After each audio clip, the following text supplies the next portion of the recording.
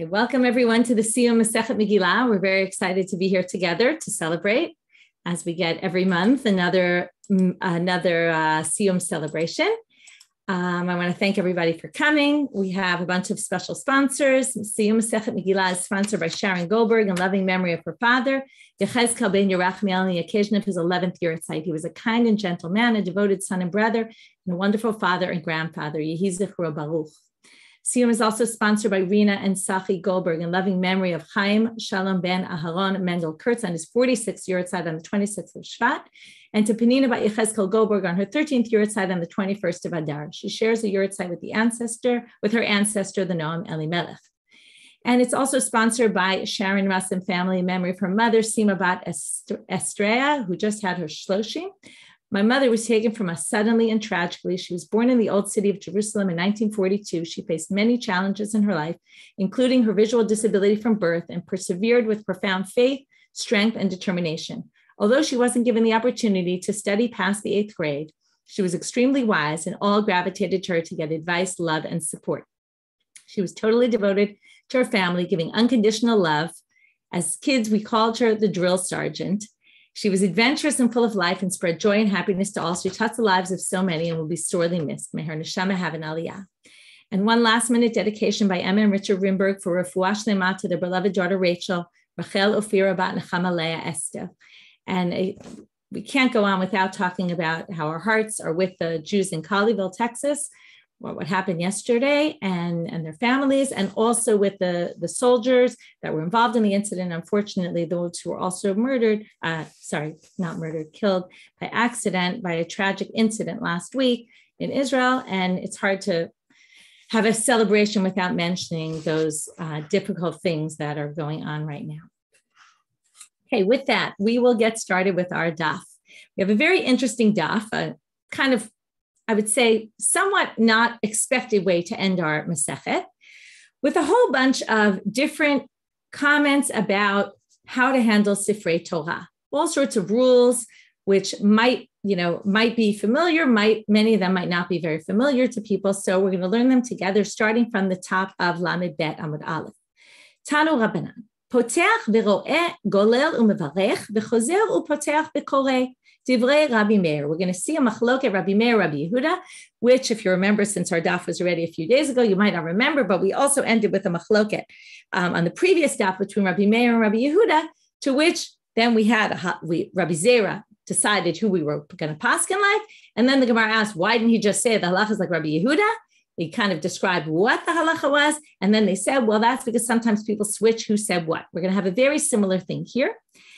When you open the Torah to make a bracha, so first you open the bracha, you're about to read from the Torah, you go, you open it, you ro'eh, you see exactly what spot we're up to. Golel, you close it, okay, you roll it up again, umivarech, and then you make the bracha. V'chozer upotech the after you make the blessing, then you open it up again. So we're going to have to figure out why Rabbi Meir thinks that we do this. This is Divrei Rabbi Meir. Rabbi Yehuda Omer, u'mevarech v'koreh. He says we open it, we look, and then once we look exactly where the spot is, you make the bracha right then and there. De Amar Ula, ah, my time of Rabbi Meir. So what's the reason why Rabbi Meir says you have to close the Torah in order to make the bracha? It seems strange. So he says, Kid Ula, de Amar Ula, as Ula says, Mipnei ma amru hakoreh b'Torah lo yesayah l'metorgaman. כדי שלא יאמרו תרגום כתוב בתורה. החנמי כדי שלא יאמרו ברכות כתובים בתורה. So first of all, I want to just say what type of an answer this is. The way the Gemara works here, and it's very typical of the Gemara, they take an answer given in a different situation, and they say that same answer would be applicable here as well. So what's the answer? So the answer is, or what's the issue? The other issue. The other issue is we learned already from this is nice because it connects back with things we learned earlier in the Masechet. When they used to read the Torah, they would have a Meturgeman. This is still done in Yemenite synagogues. Somebody reads a pasuk and immediately someone else translates it. Okay, translates it into right reading the Targum Onkelos. Wouldn't really help most of us, but maybe after learning a lot of Gemara, you'll get better at understanding Targum Onkelos. So they would basically say that the person who reads the Torah is not allowed, not only not allowed to translate the Gemara, the, the Torah, but also can't help the person translating. Let's say the person translating starts fumbling, you can't help them. Okay, you can't say any of the words of the translation if you're the one reading the Torah. Why is that? You're going to find this, I think, a little bit strange. Targum they don't want people to think that the Targum, the translation, was actually written in the Torah. We had this whole thing about can you translate the Torah? Can you translate the Torah? Remember, and the whole thing was about preserving the text of the Torah and understanding that the text of the Torah is the text of the Torah. If you want to start translating, that's fine, but understand that what you're using is a translation, right? I always say this when you when you're learning Gemara and you take the Steinsaltz or the Schottenstein and and you're using it always remember that right? The that that what you're using is a translation it's not the actual text. They're already taking away right some of the the purity of the text itself. And what they want to keep here is the purity of the torah. The tra- you don't want anyone to think that maybe the translation was written in the torah. So therefore you can't do that. So comes now here okay that makes sense when it comes to the targum the next line is a little bit more strange, which is hachanami. We can then say the same thing that when you say the bracha, you have to cover the Torah. Why? We don't want anyone to think that the bracha were written inside the Torah. Right? That's already why someone would think that the bracha were written inside the Torah is a very good question. Don't have a great answer to that question. But they say it must be because they can't think of any other reason why you would cover the Torah when making the bracha, because we don't want people to think that the bracha are written in the Torah. Again, it's this idea of keeping the purity of the text the text of the Torah is the text of the Torah. Anything else that we do, we, we say bracha, we give the targum, we do translation, all of that is extra, additional, but that's not the Torah itself. So if you have to def- you have to say what this stuff is all about, it's really about the sanctity of the Torah and how pure we have to keep the sanctity of the Torah and not to mix it up with anything else. So now Rabbi Yehuda, why does Rabbi Yehuda think then you can open it? because he says, he says, I understand that you might confuse and think the Targum maybe was written in the Torah, but nobody's going to think that the blessings were written in the Torah. So there's no concern at all. And Amar Rabbi Zera, Amar of now I already alluded to the fact that we're going to get to this psak halacha. He says, halacha potech umevarech You actually don't need to close the Torah. Lema halacha ki Rabbi Yehuda. So now the Gemara asks, just like they asked before on Rabbi Zera, why don't we say the halacha is like Rabbi Yehuda? Why did Rabbi Zera say in words, I hold by whatever Rabbi Yehuda does, but he didn't say very simply, I hold like Rabbi Yehuda. That would have been very simple.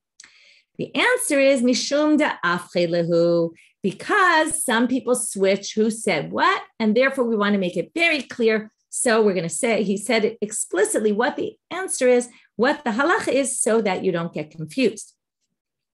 What do we do halacha lamase? So this is very interesting. We hold like Rabbi Yehuda that you actually don't need to cover it up. However, there's many customs that developed and, and it's quoted halacha in the halacha books that you're actually either you close your eyes or you look to the right. Some people say you look to the left. There's different opinions. And that generally you're not really supposed to look inside the Torah when you're doing the brachot. Basically, even though we hold like Rabbi Yehuda, to be concerned for Rabbi Meir's opinion, where generally the custom is not to actually look at the Torah, look down in the Torah when you're making the bracha. Um, Amar Rabbi Zera, Amar Rav Matna. Since we quoted, we're going to have a lot of these things today where we quoted someone saying something, so we're going to quote something else that he says, and it's obviously somewhat connected. Haluchot vehabimot ein behem kedusha. Another thing that typifies our daf is that, as usual, we're going to have a lot of terms that aren't so clear what they mean or explanations that were not so clear what they meant by following statements and many different interpretations. We're going to try to keep it simple today for our siyum. But luchot and bimot, there's different uh, interpretations of what they are. Some people say luchot are the margins in the Torah text. Some people say they're you know, on the parchment of the Torah. Some people say that they're boards that the children used in school that they wrote the Torah on. And then the lichot and the bimot, some people say the bima is the place where we put the Torah. Some people have some other interpretations of it. They don't have sanctity of a Sefer Torah. Some people say they do have sanctity of a Beit Knesset, of a shul, which is a lower level of sanctity, but they don't have the higher level sanctity. Amar Rabbi Shvatya Amar Rabbi Yochanan. Hagolel Sefer Torah. We're now going to have a number of statements of Rabbi Shvatya Someone who rolls a Sefer Torah, tzarich sheyamidenu al hatefer. When you roll the Sefer Torah, you have to roll it so that the center that's right, that as you're rolling it, the, the center has the tefer, the stitching. Because what are we worried about? That's exactly the point, which it could be weak and it could tear. And if it's not on the on the stitching, then you could actually maybe rip the Sefer Torah where the wording is. So you have to be very careful. The Amar Rabbi Shvati, Amar Rabbi Yochanan, הגולל ספר תורה גוללו מבחוץ ואין גוללו מבפנים. So I'm going to first translate the words. It's very unclear what this means. Rabbi Shvatia says, in the name of Rabbi Yochanan, that if you roll the Sefer Torah, you roll it from the outside and not from the inside. Many, many different interpretations were given to this line. Ukeshahu mahadko, and when you close it, mahadkomi bifnim ve'em mahadkomi bachutz. Okay, when you seal it or close it up, you close it from the inside, not from the outside. So when you roll it, you roll it from the outside. When you when you seal it you, or close it, you close it from the inside. So what does this mean? It's not so clear what this means. And I'll, like I said, there's many different interpretations. I'm going to go with the Rama in the Shulchan Aruch, and he explains. If you look in Hilchot Sefer Torah and Orach Chaim Kuf Mem Zayin, if you want to open this up at some point, in Seif Dalet, it says exactly word for word in the Shulchan Aruch, Sefer Torah mi bachutz, ukashuma ad koma ad. Basically cuts out a few words, but he says word for word what it says in the Gemara.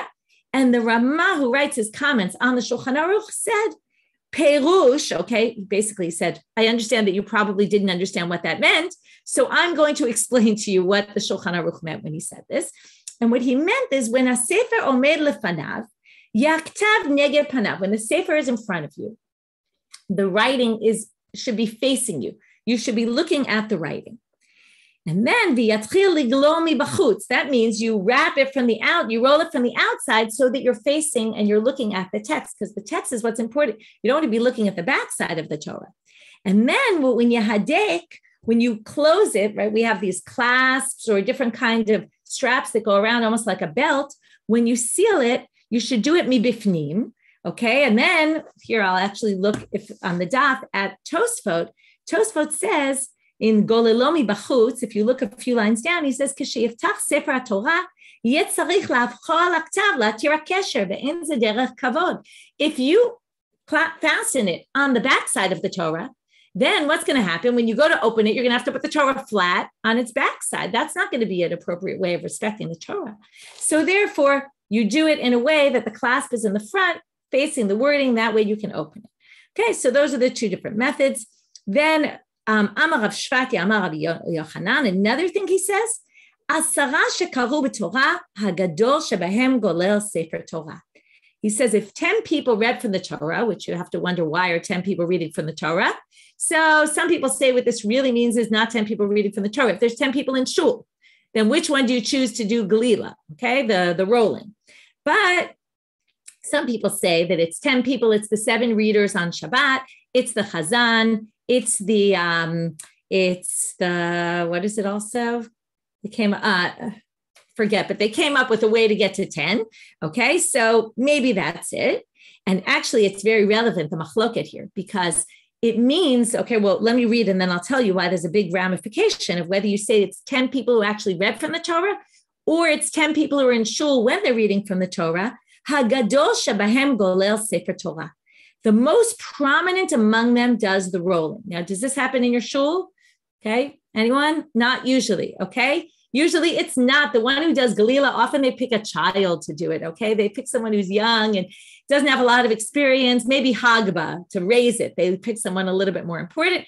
First of all, they claim the Galila used to be Hagba and Galila. The person who rolled it did both. Okay, that's number one. Another thought occurred to me now is that maybe after all these warnings about how to do it properly, and it's a little bit dangerous, you could possibly tear it on the scene. Maybe they people didn't want to do this job and they therefore said oh we're going to pick the most respected person in the community so that people would actually want the job and it would be as we call it a kibbud and that would encourage people to do it so we'll see why we don't actually do this anymore. But according to the Gemara, it's really Hagadol Shabahen. He rolls the Sefer Torah. And whether you assume it's the, the greatest among the people who read from the Torah, or maybe it means no, the people read the Torah and we pick somebody else to do glila, there's a big machloket about this among the poskim. Is the right nowadays generally, I unless you tell me otherwise, but generally the person who does glila is not one of the people who read the Torah, which we just use as an opportunity to give it to somebody else. But when uh, but according to the Gemara, there are some people who think that the Gemara reads as we choose of the people who read the Torah, the one who is the more prominent is the one who gets Galila. And then it tells you even more. The Hagolilono Kulan, he gets the reward of everybody. To which the Amar Rabbi Yehoshua ben Levi, as Rabbi Yehoshua ben Levi said, Here he said it, it must be that's the case. To which the Gemara says, wait a minute, schar kulam sakadata. how could he take the reward of all the people who read the Torah? Here you roll the Torah and you get the reward of everybody. It means he got as much reward as all of them put together got. So you can see here they're clearly encouraging people to do glila, right? It seems like that's one way to look at it. Or they really thought that rolling the Torah was an incredibly big uh, big job and very important and given to the most important person. Why do I say this? Because again, this doesn't match the reality. Okay. Uh, what I didn't mention is Sephardi Sefer Torahs are very different, and how they would read the sugya is a big question because they don't have all this wrapping around and, and other things. Although they do use mitpachot and they they do have other things, but how you read it would be a good question. But what I wanted to read here is the Mishnah Brura. The Mishnah Brura in Kuf Mem Zayin, Sif Katan Zayin says Zehu ikaradin. This is the real base halacha that the golilo is supposed to do all this. He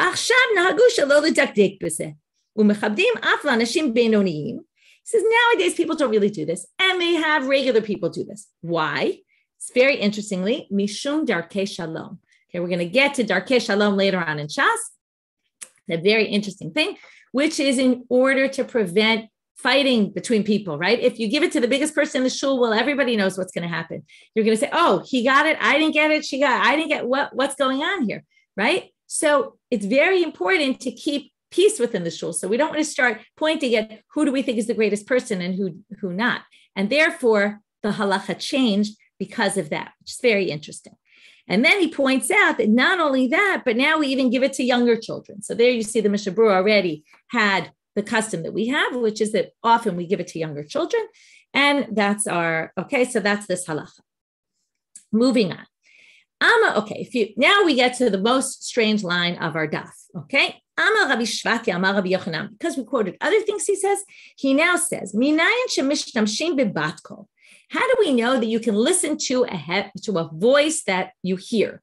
Okay, whether it's a heavenly voice or just a voice, we don't know. But if you start hearing voices, you can follow what the voices tell you to do. Okay, now this is very difficult because the Torah says lo tinachashu. You're not supposed to follow voices. We've seen in the Gemara that we don't follow the bat kol. We don't listen to heavenly voices. Famous story of Tanur shel Achnai and other stories we've seen. We don't follow bat kols. So why are we listening to this heavenly voice or whatever kind of voice it is? So the Gemara here says you can. In Sefer Yeshayahu, it says if your ears hear something from behind you speaking and telling you, then you should, it says, lechubo. This is the path that you should go. Kita aminu smilu, whether, right, whether you go yamin or small, basically it sounds like you can follow this voice. So how does that work with lo tinachashu? All the commentaries really question this. And it seems that they distinguish between this idea of, of this is like you want to go somewhere and you just need some sort of push to go there. So if you think you hear some voice telling you to do this, you can follow it.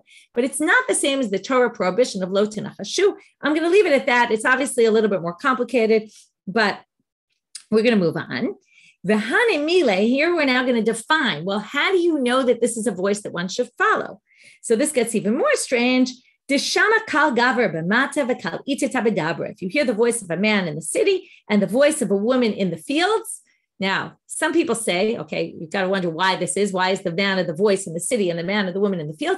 So some people say it's normally the opposite. So it's atypical for you to hear the voice of the women in the fields because the women were more at home in the cities and the men were out in the fields. So if you hear some other strange voice, maybe that's something, some voice that you should basically go follow. V'hu da'amar, hain hain, v'hu da'amar lav lav. If it tells you yes, yes, or it tells you no, no, you can go follow that voice. Okay, now the double is coming from the Torah. Often when God calls people, he calls them Avraham, Avraham. We see that many times where names are doubled. Okay, and that maybe is a, is a sign that it comes from God. Again, this is very odd. What this is doing here, the only thing I could really think about is that to me, this connects with the whole idea of the Megillah and how God's name is hidden in the Megillah and that many times we say we're waiting for a sign from god right? We want to know what should we do? We're waiting for a sign from god. And sometimes the idea is that the signs from god are there and it's our job to see them. Just like god in the megillah is hidden and it's our job to find god in the megillah and and see that god was behind everything without it being obvious and and noticeable. So i think that that's an idea here that all of a sudden jumps out at me. If you think about the Megillah in general, even though we're really not on the topic of Megillah, but you can't ignore the fact that we're at the end of Masechet Megillah. Okay, Amar Rabbi Shvati, Amar Rabbi Yochanan. Another thing he says, another, again, these are off, awfully interesting statements, I should say.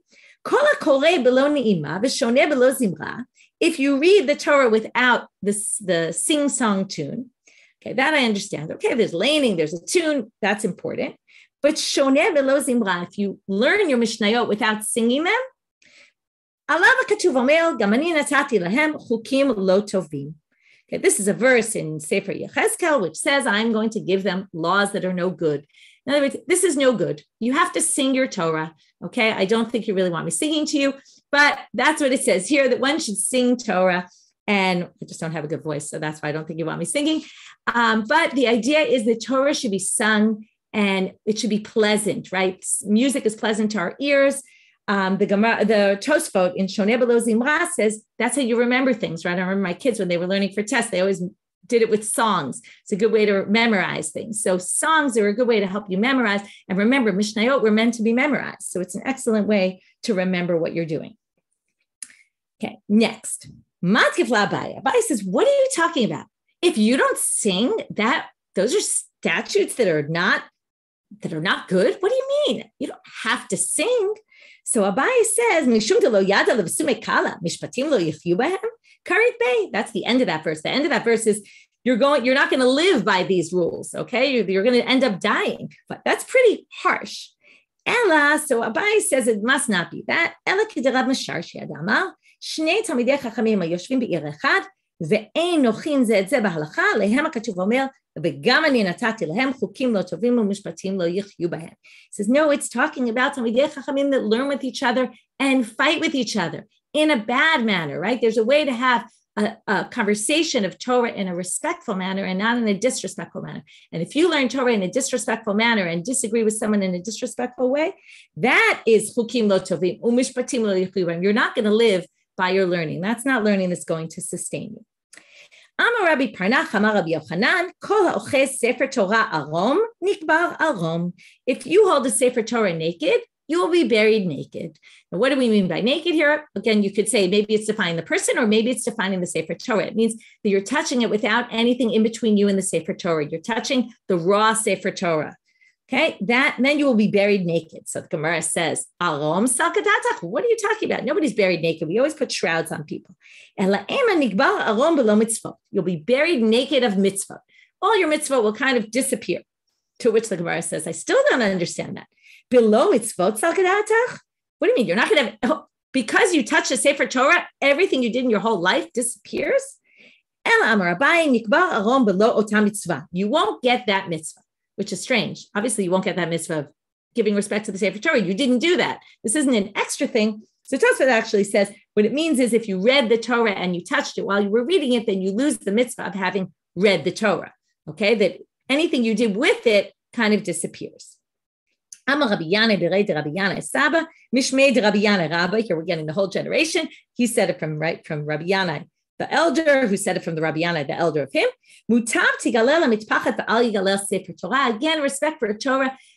Again, the reality, it's not so clear to me exactly how this works, but wrap the, the, the, the cover of the Torah around the Torah and don't wrap the Torah to fit into the cover. But you, okay, that's the end of Sefer Torah. Now we're going to have our last line for today. First, we quote the Mishnah. If you remember, the Mishnah had listed all the readings you're supposed to do on all the given days. And it said, we learn this all from a verse about the holidays that says Moshe spoke the Moadei Hashem to Bnei Israel. Mitzvatan echad. This teaches you that the mitzvah is to read about each holiday in its appropriate time when the holiday is. To which the Gemara brings in a Braita, which is not exactly the same idea. And I want to kind of end with this idea, which is Tanu Rabbanan, Moshe in Israel, Yom. The rabbis instituted that when it's a holiday, you should ask and learn the halachot of that day. Hilchot Pesach, the Pesach. All the holidays should you should learn those holiday those uh, laws on that day. Why does the Masechet end with this, and what does this have to do with Megillah? And why did Megillah end up with right? We asked this question at the beginning. Um, why did Megillah end up with all these chapters about Sefer Torah, about Beit Knesset? So I think there's a bit of a clue at the end of this Masechet. And this might also be why they ended with this chapter in the Gemara not the previous. They wanted to end with this idea of reading Bismano. We started with that. Remember? When is the Megillah Nikret? Yud Aleph, Yud Bet, Yud Gimel, Yud Dalet, Tefav.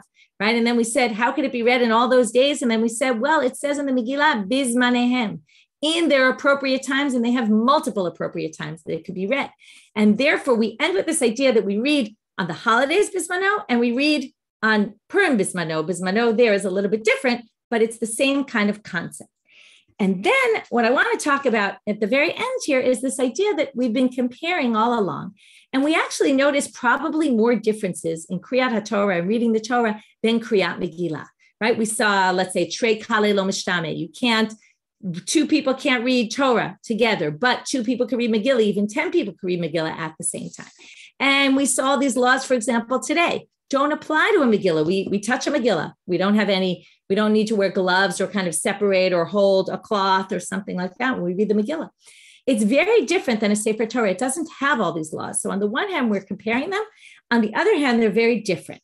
And I think now, one of the ideas here, if we think about what is similar, though, despite all the differences, if we talk about Megillah, we mentioned that Megillah really doesn't appear in the Megillah. The fact that you're supposed to read the Megillah doesn't appear explicitly in the Megillah. Really, what it tells you at the end of the Megillah is you should make these days, days of feast and, and celebration, and you should do Mishloch Manot, Matanot Levyonim, which got such a teeny mention, a very funny mention in our Masechet, but a very, very small mention. And the whole Masechet, other than the parts about Kriyat Torah, are really all about reading the Megillah, which is not even mentioned explicitly. Why is reading the Megillah so important? And I think that the clue could be found in this last line, which is reading the Torah. We don't always view the reading the Torah as learning Torah, but there's an element of learning in reading the Torah, right? That's what we read every week. And we always talk about Parshat Shavua. And it's a way that we get to learn and engage with the text in a learning kind of way. And when they said here that the mitzvah is to read every portion in its appropriate time, and then they immediately said, well, it's a mitzvah to learn all the halachas, right, which are not necessarily in the Torah readings. But there's this idea that the idea of Torah reading, and then let's take it to Megillah, is that the rabbis, when they created this holiday of Purim, they wanted to create it with something that was a model that they knew already, which was Kriyat Torah and learning, this learning model, and showing the importance of not just experiencing, there's the experiential aspect, which is the Mishloch Manot and the Sudan, all of that, but in addition, add this element of learning. And therefore, the merging of the two is what they wanted. And the Megillah, because it wasn't mentioned, they needed, they wanted to stress that part, especially the rabbis who everything for them centered around learning. So I think that that might be an interesting way to look at the idea of reading the Megillah and why the Masechet spends so much time talking about Kriyat Torah, because they wanted to say this is the model on which we based Kriyat Megillah. And that's why it ends with this idea of Bismano and Bismanehem to merge the two ideas together. And with that, Hadran alach b'nei ha'ir, uslik ala Masechet Megillah, and now we will say the Hadrans together. Put them up on the screen. הדרן הלך מסכת מגילה והדרה חלן, דעתן הלך מסכת מגילה ודעתה חלן. לא נשי מנך מסכת מגילה ולא תתנשי מינן, לא בעלמא הדן ולא בעלמא דעתה.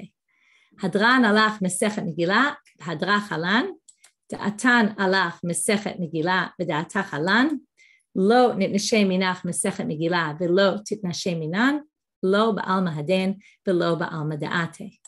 הדרן הלך מסכת מגילה והדרה חלן, דעתן הלך מסכת מגילה ודעתה חלן, לא נתנשי מנך מסכת מגילה ולא תתנשי מינן, לא בעלמא הדין ולא בעלמא דעתה. יהי רצון מלפניך, אדוני אלוהינו ואלוהי אבותינו, שתהא תורתך אומנותינו בעולם הזה, ותהא עמנו לעולם הבא. חנינה בר פפא, רמי בר פפא, נחמן בר פפא, אחי בר פפא, אבא בר פפא, רפרם בר פפא, רחיש בר פפא, סורחר בר פפא, אדר בר פפא, דרו בר פפא. הערב נא אדוני אלוהינו את דברי תורתך בפינו ובפיות עמך בית ישראל ונהיה אנחנו כולנו צאצאינו וצאצאי עמך בית ישראל כולנו יודעי שמך ולומדי תורתך לשמה. מרווי תחכמני מצוותיך כי לעולם היא לי. יהי ליבי תמים בחוקיך למען לא אבוש לעולם לא אשכח פיקודיך כי בם חייתנו. ברוך אתה אדוני למדני חוקיך אמן אמן אמן סלע ועד. יהי רצון לפניך, אדוני אלוהי, כשם שעזרתני לסיים מסכת מגילה, כן תעזרני להתחיל מסכתות וספרים אחרים ולסיימם, ללמוד וללמד, לשמור ולעשות ולקיים את כל דברי תלמוד תורתך באהבה. וזכות כל התנאים והאמוראים ותלמידי חכמים יעמוד לנו ולזרענו, שלא תמוש התורה מפינו ומפי זרענו עד עולם. ויתקיים בנו ותלכך תנחה אותך, בשוכבך תשמור עליך, והקיצות אי תשיחך. כי בי ירבו ימיך, ויוסיפו לך שנות חיים, אורך ימים בימינה, בשמאלה עושר וכבוד, אדוני עוז לעמו ייתן, אדוני יברך את עמו בשלום. שר כוח לכולם. It's amazing. Kala. So exciting to finish another Masechet together. We will read the first line of Masechet Moed Katan. I know many of you already started it, but in case you didn't, here's your intro to the next Masechet. Moed Katan, I actually thought tonight that it really starts off in a very similar way to the way Masechet Megillah ends, which is Mashkim Beit HaShlachim B'Moed U'Bashvi'it. You're allowed to water a field that needs irrigation on Chalamoed and Bashvi'it, and also in the Shemitah year. Ben I'm not going to get into all the details about how and when and where, but what I'll talk about is the concept of this Mishnah. Concept of this Mishnah is what kind of malacha is forbidden on Cholamoid and what kind of malacha do we allow? And the question is really a question of what, why did the rabbi, and there's a debate about whether one can't do work on Cholamoid by Torah law or it's only rabbinic law. And the question is the rabbis, and if you listen to Dr. Ayala Lipson's um, intro to Moed Katan. If you haven't yet, you should definitely listen. She talks about how what happens in, in Katan is that the rabbis are trying to tell you how you're supposed to feel. They're instituting certain things that you can or can't do to create a certain emotion and a certain uh, feeling for the holiday. And I was thinking it's the exact same thing as Megillah, that they instituted that this idea of Megillah that I was talking about in order to have an intellectual experience. That sometimes the rabbis institute things because they want you to have a particular experience, a particular way of looking at it. So in that way, Moed Katan starts in a sense a little bit similar to the way um, the Megillah, Masechet Megillah ends.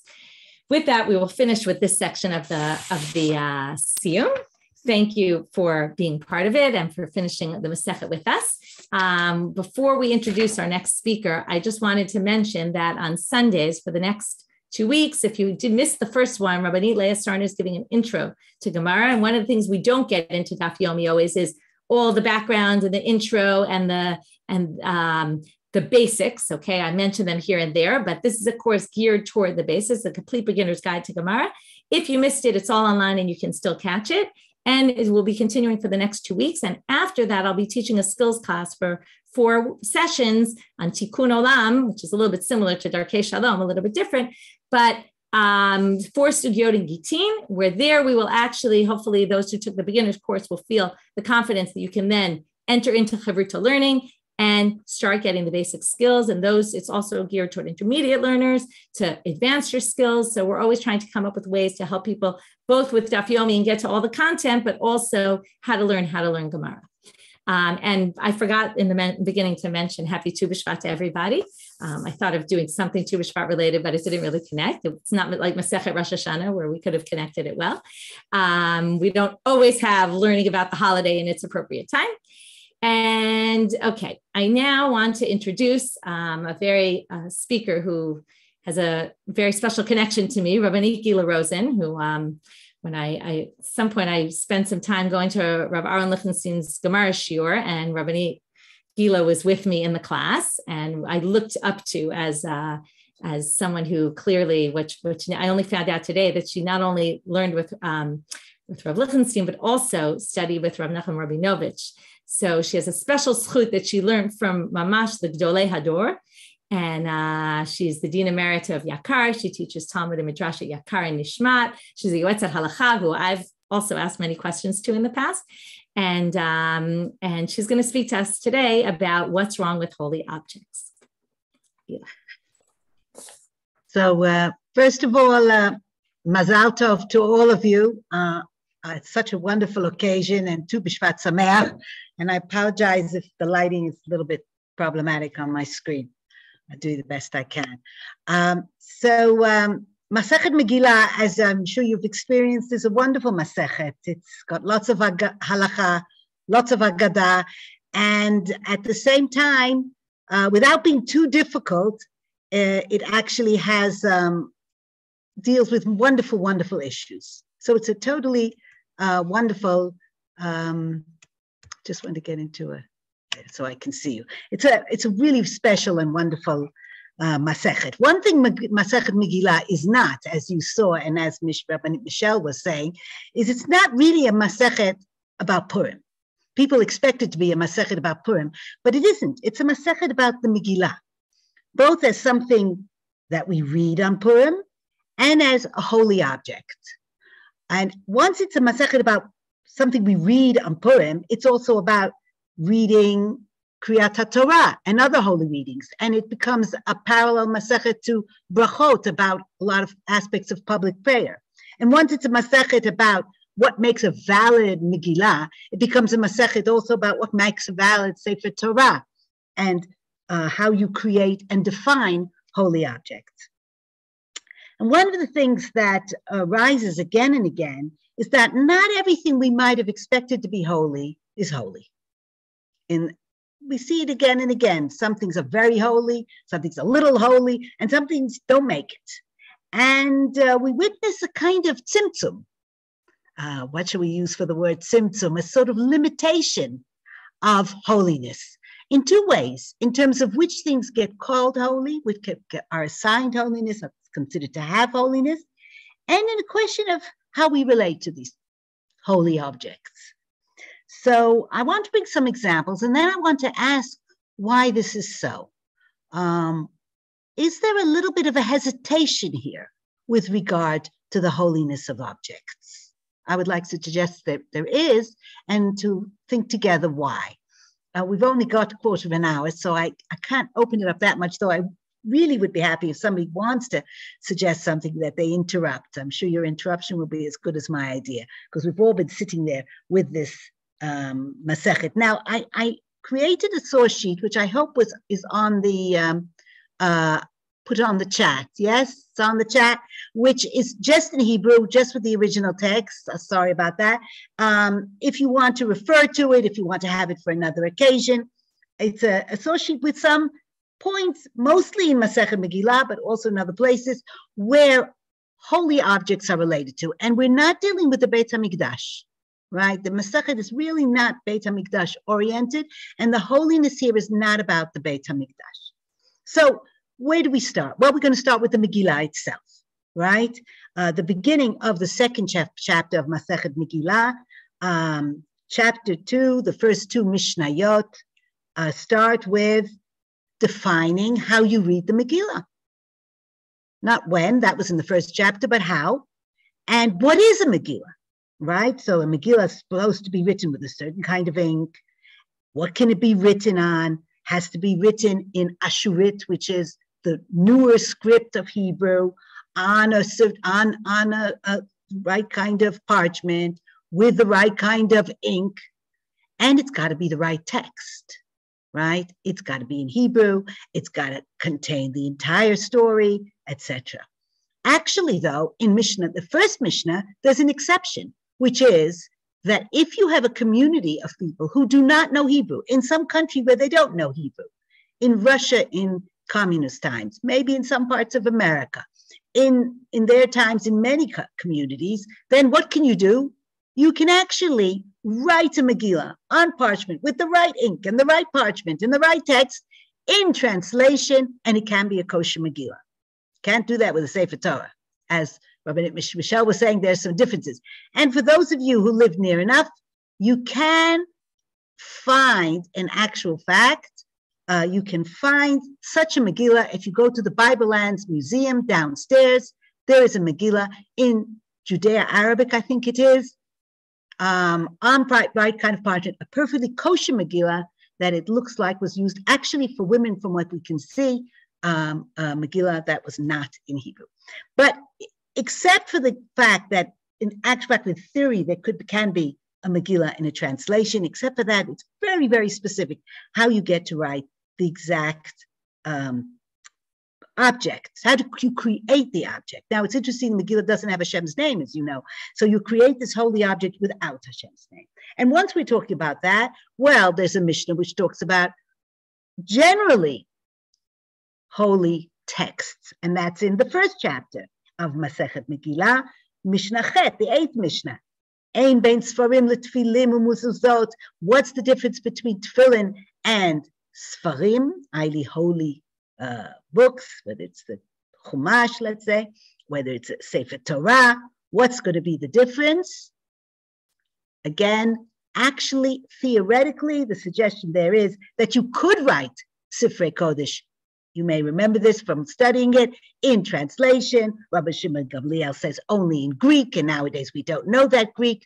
A whole question of whether or not you can write a Sefer Torah in another language, what makes for this holy Sefer Torah. And in the end, the pinnacle of Kedusha is the Sefer Torah, and it must be in the original Hebrew.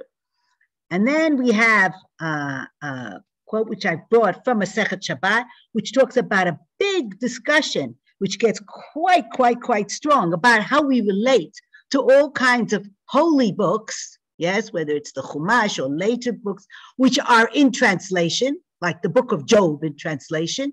And is that a good thing or deeply problematic? Depends who translated it. Depends how good a translation it is. What was the attitude of the person who translated it? We're talking about the early period of Christianity. Are there other kinds of translations going on with different agendas? Translation becomes something very, very interesting, but very multifaceted. And we again have the question how do we relate to a text which is a translation with maybe a very different agenda, right? So we get all these questions of holy texts. That's one kind of holy object. Then we get the beginning of what's the third parak in Mishnah, but in the Gemara is the beginning of the fourth chapter, which is the question of selling a shul, selling a street, selling uh, the box that holds the Sefer Torah, the Aron selling the Sefer Torah itself. What can you do? You always have to go upward in terms of Kedusha. So Kedusha, holiness, sanctity, isn't an all or nothing concept, right? You can go upward from one to the next, but never down. You can't sell a Sefer Torah in order to build a nice shul, right? You can move upward, uh, but you can't move downward. And we get a wonderful argument, which could not be more relevant than today, about what we do about a street where people tend to daven. I don't know about most of you, but I've got a parking lot in front of my house, and there's still davening there every day, three times a day in this parking lot. Is it still a parking lot or is it a shul? Right? That's a machloket. It's a difference of opinion. How do we relate to it? What can I do there? Can I still comfortably park my car? What's going on? Did it completely change character because of this temporary prayer there, which got to be rather permanent? So, what do we do about intermediary kind of spaces and objects and buildings? And where does Kedusha come in and out? Then we have another discussion. On that discussion in the Mishnah, on Daf Kaf Vav, page 26b, in case you've got a Gemara, I want to take a quick look. Tanu Rabbanan, the rabbi said, Tashmishay mitzvah nizrakim, tashmishay kedusha nignazim. Objects used to do a mitzvah get thrown out. It's true. I'm sure you learned it that Judaism couldn't live with that. We couldn't live with that. So we moved it to, well, but don't throw it out in a way that's not respectful. But really, the original halacha is Tashmishe, mitzvah, an object used for a mitzvah like a lulav. And when it's finished, it's finished. It's over. But Tashmishe Kedusha, not only the Sefer Torah itself, but the box you put the Sefer Torah in, the cloth you used around it, that stays holy. So Tashmishe Kedusha are very different from Tashmishe Mitzvah. It's kind of anti-intuitive. I would have thought my my my my my lulav would be more have more holiness than the cover to a Sefer Torah, but no, the Sefer Torah has God's name in it.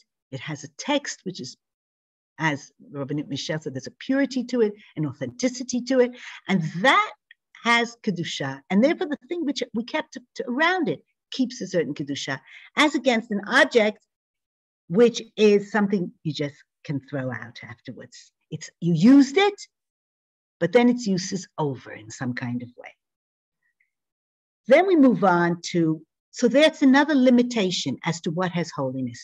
Objects that you use for mitzvahs don't have holiness. It's different. There's something different about it. Holiness is about something that somehow connects to God in a way that it lasts, in a kind of way that, that God's uh, eternalness, which we don't have, eternity, which we don't have when it comes to objects we do mitzvahs with.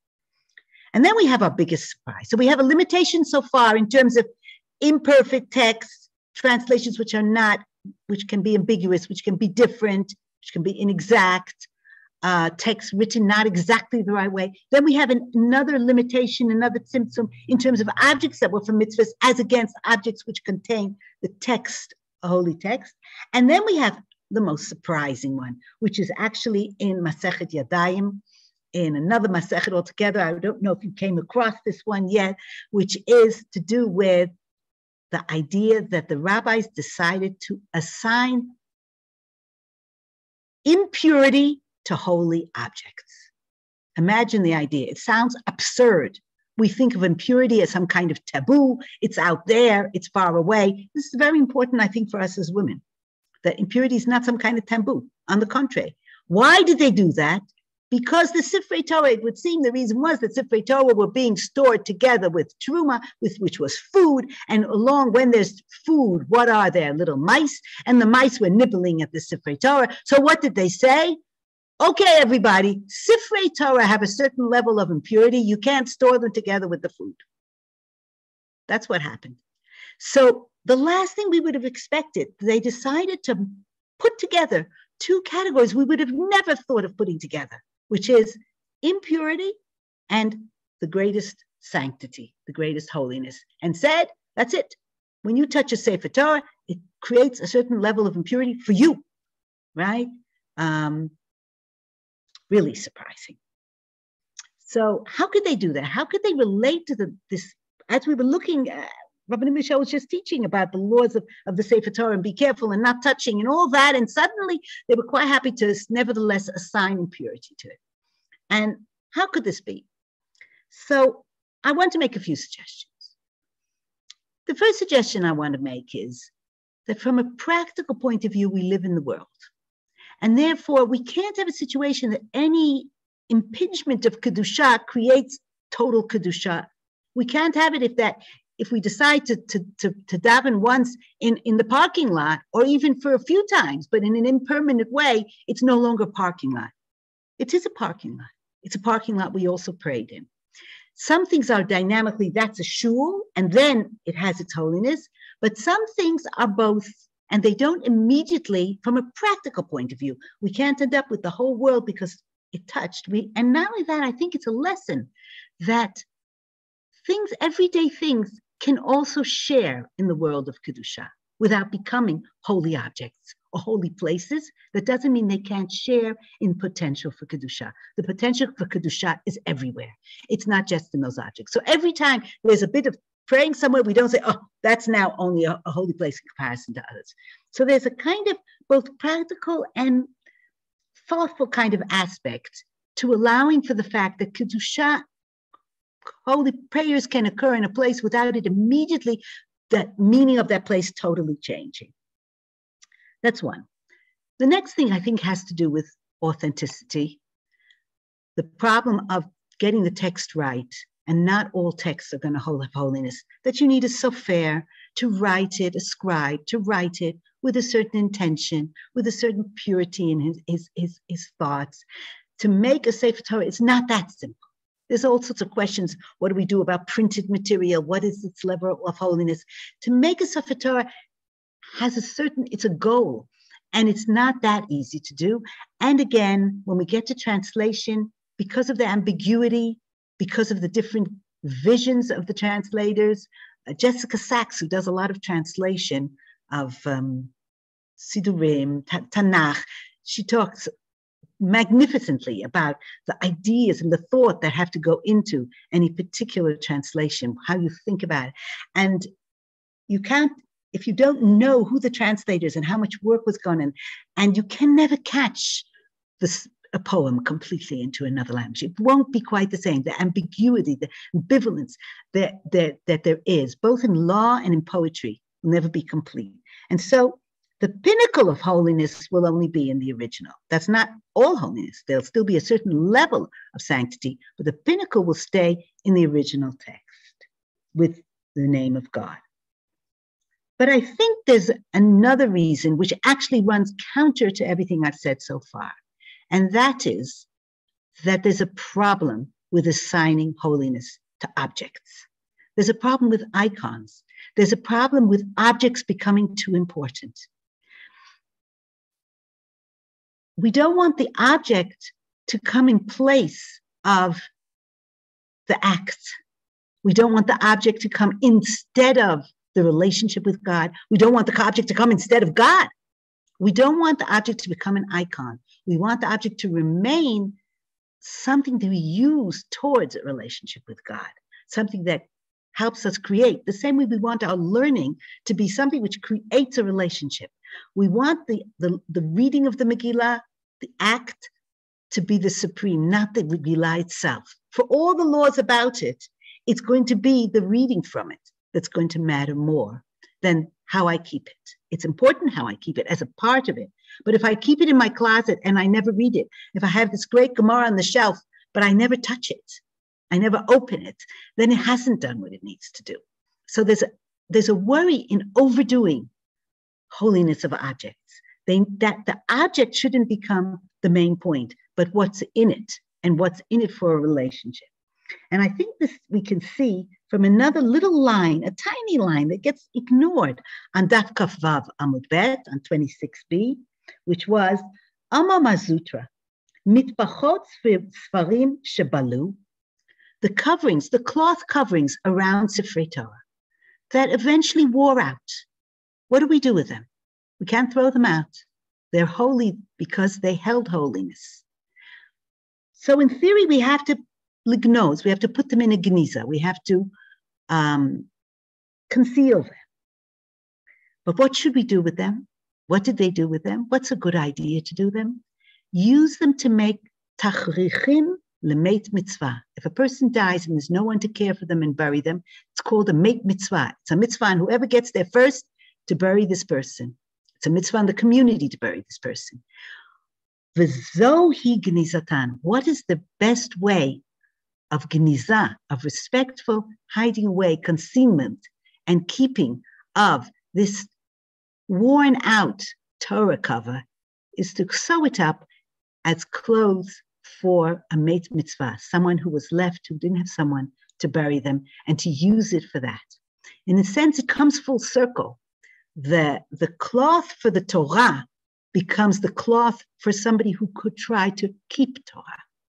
Yes, and for the respect to that, that that there's um, that the real um, holiness comes in the marriage between the Megillah and the reader, between the Torah and its reader. It, one without the other is empty. So uh, Masechet Megillah really is about the fact that as like on, as on Purim, appearances aren't all of what it is. There, there's something inside that has to happen. There's something hidden that has to happen. And that's the magic between the text, the holiness, and our relationship, our experience of it, which creates, creates our relationship with God. thank you, Michelle, Michelle, for inviting me to join you. It's really a very exciting thing to do, and may you enjoy your learning tremendously. Thank you very much, Rabbanit Gilla. That was beautiful, very beautiful concept. And it was a nice way to kind of close all these ideas that we had seen throughout the Masechet and bring them together. We're going to end our program tonight with something very special, which you don't see all the time, which is uh, an initiative by a high school in Israel, Pelech Tel Aviv, where I have to say two of my daughters went and go, um, where a teacher who we're going to meet right now, very briefly, Moria Ben Chai, is going to speak to us very briefly about the initiative that she took within her school. And then we're going to be very excited. We're going to hear from an eighth grader in her school, Elianna Kulak, who took on the Daf Yomi challenge and is now hooked and uh, is going to share with us a few words. So, Moria. Yay. Hello. I'm really thrilled to be here. Wow, it's really exciting, and, and so many people are here. Wow. Um, so I'm a school rabbanit um, at Pelech Tel Aviv, and we are one of the few schools in Israel that teach girls Gemara uh, for the Bagrut in a high level. And last year, when I when I was teaching the seventh grader uh, Masechet Megillah, only few sugiyot, uh, one of them asked me if we we're going to finish the Masechet. Well, it's really bold question for a seventh grader who only met Gemara that year uh, to ask about that. But I thought, well, why not? and then I looked for uh, Masechet Megillah Daf Yomi, and I and I saw it's going to be this year. And about two months ago, I connected uh, Rabbi Michelle Farber and asked her to lead us, lead the way, and um, actually to use the podcast of, of Hadran to um, uh, to succeed with the challenge of Daf Yomi. And so we went uh, for a, a Daf Yomi, Etgar Daf Yomi, the challenge. And actually, a few dozens of students and teachers uh, came along, but only 13. But actually, it's really it's, it's thrilling. 13 students. Most of them are seventh and eighth graders, and only one uh, is 17. Uh, finished the Masechet. I'm really, really, really proud of them. And we used WhatsApp group, we used some memes, and we had classes, and of course the podcast every day. And Elianna is actually uh, is is my student in my homeroom uh, class, so I'm really proud of her. Hi, um, I'm Elianna Kulak. Um, I'm in eighth grade, and I met Aliyah from New York a few years ago. Um, I live in Ra'anana and go to school at Pelech Tel Aviv. Um, and I just want to say, first of all, it's such an honor to be here completing Masachet Megillah alongside this inspiring group of women. Um, I was first introduced to Daf Yomi through the Hadran Pelech program that you just heard about from my amazing Gemara teacher, Mar Moria. And learning Daf Yomi with the Hadran community has transformed the past month for me. Um, I'm excited to share a little bit about my experience um, learning Daf Yomi with um, you. Uh, Masachet Megillah was a perfect foray into Daf Yomi, and its themes on halachot often resonated with me. One recurring theme that I want to talk about is the importance of accessibility, meaning there's a huge value placed on ensuring Jewish knowledge and Masorah is never out of reach. Chazal are accommodating to people who live in Farim and Mikalachot um, to give them access to Megillah reading. They allow Megillah reading in other languages because they want non-Hebrew speakers to be included in understanding Megillah. And to me, this is what the whole Daf Yomi movement is about, accessibility, making the huge accomplishment of finishing Shas um, available to the layman, although um, in the beginning, more emphasis on the man part of layman. Um, and 100 years after Dafyomi started, the Pelech Hadran iteration has now made it accessible for me as an eighth grade girl and Nuala um, to learn Dafyomi. It gave me a community of other girls my age who were learning Dafyomi. And because of that, I saw it as something that was open to me. The podcast gave me a medium for learning that's accessible and I'm used to interacting with. I think um, this is a time when everything is accessible at the push of a button. And the internet allows people to access like the biggest body of knowledge ever in a very approachable way. But for me, and I think a lot of other teenage girls, the Talmud can seem really distant uh, and out of reach, like an ancient text in a foreign language. But through Daf Yomi, Talmud and Chazal become part of my daily life, and therefore more approachable and less daunting. I really just hope that more girls get the opportunity to try Dafyomi because it really enriched all facets of my life and added this morsel of spirituality to every to every day. Um, and I'm just I'm really grateful for Hadran and Pelech for giving me that opportunity. And I think it's it's an amazing thing that we should um, allow more more young women to do. Amazing. Thank you, Elianna. We're looking forward to seeing what's going to become of you because if you're like this at eighth grade, you've got a bright future ahead of you. Thank you, everybody, for being part of this. Thank you all for all the support and all the learning and all being part of this. And uh, thank you for all those who joined the Circle of Friends, all those who gave contributions at the end of the year. We're very thankful. It helps us to be able to increase our programming. And uh, Maggie, you want to add a word? Um, yes, I mean, Mazal first of all, to all of you completing, especially those who just wrote that this was their first Masechet. So great job. Um, many of you know that there are two more Masechtot and we will be completing Seder Moed and we're already working really hard to make it an exciting Siyum for everybody. Um, I don't know if I'm allowed to tell you to save the date yet. Can I say? we will be having the Siyum on March 8th. So save that date um, not on a Sunday. So you really should save the date. Uh, we're very excited. Another thing we're excited about is our new Facebook page that we are focusing in English. Everything in that page will be in English. Some of you might have already seen that in our intro video, um, but I'm now putting the link in our chat. Please go to the page and like it. It's a very easy way to show your support for Hadran. Um, and yeah, I think that that is it. So thank you all for joining us tonight. And we'll see you soon at the next Zoom or tomorrow morning at the shiur. next Zoom is already in less than a month. So we'll see you all soon. Thank you, everyone. Cool. Thank you, Michelle. Thank you. Yashkoch, everybody. Thank you. Thank you. Mazel tov to everybody. And Mazel tov. So wonderful.